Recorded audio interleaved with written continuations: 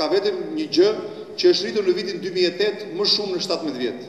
Është inflacioni i pensionistëve. Për herë të parë ky inflacion është më shumë se pesë për qind. Kryeministri i vendit në të përjavshmen e së mërkurës nuk guxoi t'u tregojë shqiptarëve se edhe në korrik dy mijë e tetë do të jenë tridhjetë mijë pensionistë të qytetit që do të marrin më pak se dhjetë mijë lekë të ardhura në muaj. Se edhe në korrik dy mijë e tetë do të jenë pesëdhjetë mijë pensionistë të fshatit që do të marrin më pak se pesë mijë lekë të ardhura në muaj.